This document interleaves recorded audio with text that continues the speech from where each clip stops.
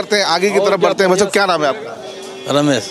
रमेश जी क्या लगता है कौन इस बार 2019 में किसके सर पार्टी के सर सहरा बनने वाला है?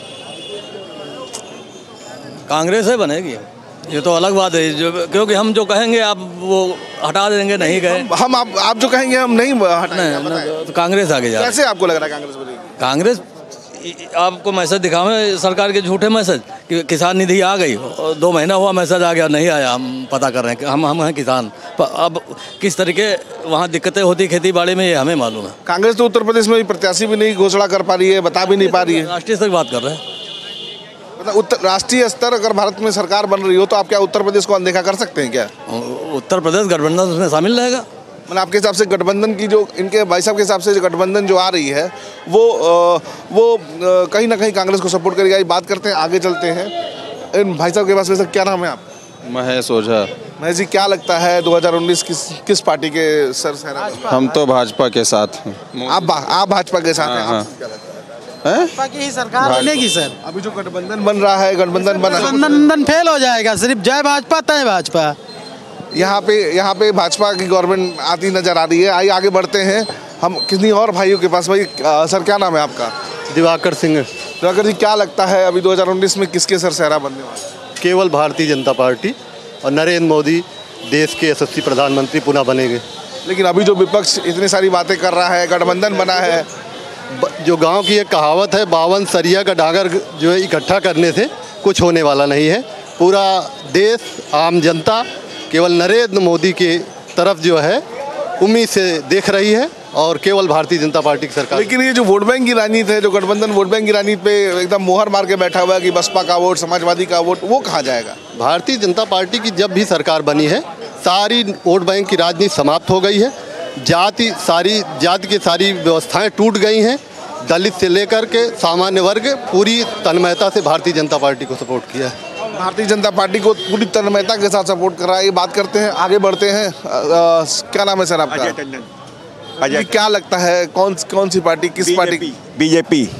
क्योंकि काम जो कर रही है वही तो करेगा ना।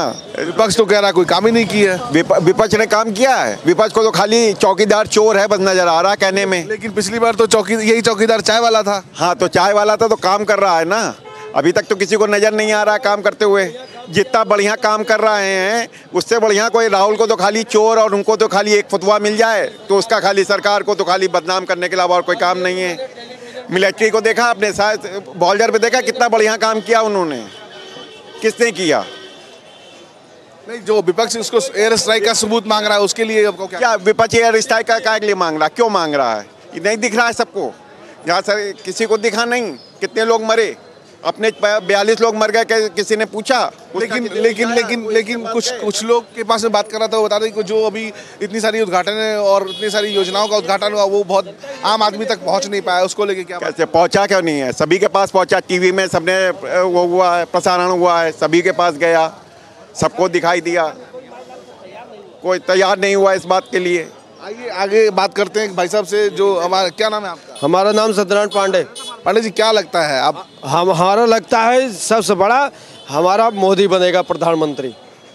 मतलब कैसे इतना अग्रेसिव हो क्या बता रहे हैं कैसे लग रहा है वो हमको लग रहा है कल हमने टेलीविज़न पे न्यूज़ पे देखा। मोदी ने कहा हम गरीब के लिए सब के लिए सेवा कर रहा हूँ अपने लिए कोई सेवा नहीं कर पाँच साल में आपको कुछ मिला? हमको पाँच साल में गैस सिलेंडर मिला चूल्हा मिला सब चूज़ मिला। बहुत बहुत धन्यवाद। आइए आगे बढ़ते हैं। हमारे साथ बीच कुछ अ, वकील साहब लोग भी हैं। मतलब क्या नाम है आपका? प्रसून कुमार अंजोर प्रसून जी क्या लगता है 2019 में किस पार्टी के सरसहरा बनने वाला है? देखिए कोई भी बने लेकिन धरातल पे काम दिखना चाहिए। चाहे वो मोदी आए राहुल आए कांग्रेस आए एनडीए आए यूपी आए कोई भी आए धरातल पे काम दिखना चाहिए।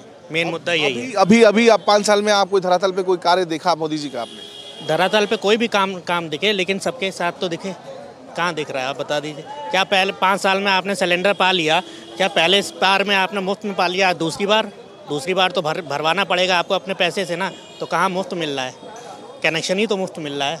और ये जो बुलेट ट्रेन और इतना एयर स्ट्राइक ये सब चीज़ें हुई उसको लेके क्या कहेंगे? एयर स्ट्राइक पे मैं कुछ नहीं कहूँगा। वो आर्मी का मुद्दा है। उस पर आर्मी के मुद्दे पे किस, किस किसी को कुछ भी कहने की ज़रूरत है ही नहीं। लेकिन विपक्ष जो सबूत सबूत की बातें कर रहा है एयर स्ट्राइक को लेके उसको लेके सबूत की बात पहले किसने की? ढाई मिल ढाई सौ मरे तीन सौ मरे चार सौ मरे पहले किसने कहा? एनडीए ने कहा ना? तो जब आप सबूत की बात खुद कर रहे हैं तो फिर साम, सामने से तो पूछा जाएगा ही ना कि सबूत आपके पास आए कहाँ से? बहुत बहुत धन्यवाद। सबूत आए कहाँ से आए कहाँ से? आप मेरे भाई और भी मेरे साथ हैं।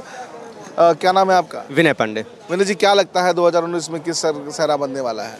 सरा तो भाई अभी आज के रुझानों के हिसाब से जो लग रहा है और जो बाकी सारी चीज़ें रुझाने को बात मत करो रुझान तो आते जाते रहते हैं। आपके आपके अपना मत अपना जो मानना है और मेरा जो अपने कलीग लोगों के बीच में चर्चा होती है उससे उसके हिसाब से तो बीजेपी का ही आएगा और किसी का नहीं आएगा क्योंकि किसी के पास चांस नहीं है। रीजन है किसी के पास ना तो मज़बूत नेतृत्व है और ना ही किसी के पास लेकिन गठबंधन जो है एक बहुत बड़ा वोट बैंक है उसको लेके भी आप गठबंधन के पास कोई चीज़ नहीं है उनके पास चोर चोर मौसर है भाई सबका केवल एक काम है उसके अलावा कुछ नहीं है। चवालीस लोगों के साथ चालीस पार्टियों के साथ भी तो गठबंधन हुआ है। लेकिन ये जो जातिगत ये ये जातिगत वाली गठबंधन की बात कर रहा हूँ नहीं जैसे पांडे जी ने कहा कि केवल मोदी जी आ रहे हैं तो हमने इनसे पूछा कि क्या गठबंधन को ब्रेक कर पाए? अकेले नहीं आ रही है। उसके साथ और भी पार्टीज़ आ रही हैं। आपसे बीजेपी की क्यों बात कर रहे हो? बाकी भी तो पार्टी हैं। उसमें चालीस पार्टी हैं। अकेले बीजेपी का है? जो रहती है उसमें हमेशा बीजेपी की ही रहेगी ठीक है? अभी जो पिछला आपका रहा यूपीए वाला जो इस समय विपक्ष है उसमें मेजोरिटी किसी एक पार्टी की बहुत बहुत धन्यवाद हमारे दो भाई दो ठीक है? जो बेसिक इंफ्रास्ट्रक्चर का डेवलपमेंट हो रहा है वो इस जो हमारी सरकार ने पाँच सालों में किया है किसी के पास कोई उसका काट नहीं है, ना कोई कर पाएगा। विल पावर की ज़रूरत तो होती है, जो इस सरकार के साथ में विल पावर थी, जिसकी हमेशा एक राजनीतिक दृढ़ इच्छा शक्ति होनी चाहिए। ये एनडीए के वर्तमान नेतृत्व के पास बहुत अच्छी तरीके से है और इतनी दृढ़, मज़बूत इच्छा शक्ति आज इसके पहले भी नहीं पांडे जी, मुझे, मैं आपका मत पूछा था, आपने बहुत अच्छा भाषण दिया